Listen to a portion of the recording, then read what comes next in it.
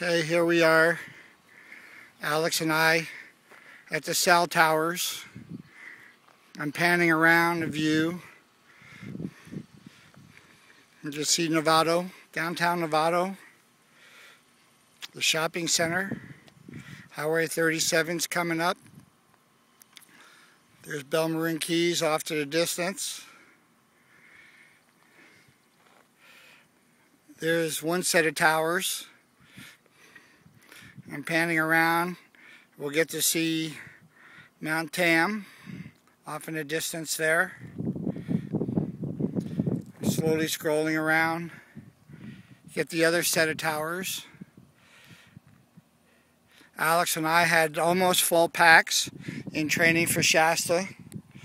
I had uh, four liters of water, a thermos of coffee, my crampons, my trekking poles, my solar phone charger, lunch, uh, camera, and other uh, shop locks and other treats.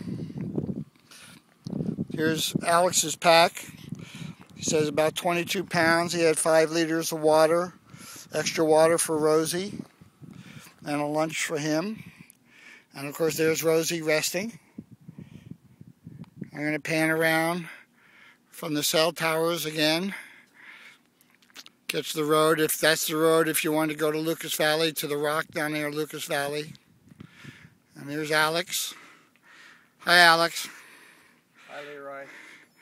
Uh, scanning around. And we're going to take about a 15 minute lunch break while we're up here. 1800 feet Alex? 1800 1850 feet and five and a half miles and then we're going to head back down. This is a good training hike for anyone who's interested in doing Mount Shasta. I'm going to hand this to Alex so he could take a picture of me with my do-rag since I forgot a hat. Here you go, Alex. So there he is. Boys and girls, don't forget some kind of uh, hat to shade you from the sun. And if you don't have something, then you have to use your Girl Scout or Boy Scout and make do. A do. That's a real do rag. It's a real do rag. It's a do rag, but it does the job. All right, good job. Okay. Well, take some pictures on the way down, and uh, we'll see you later. Click.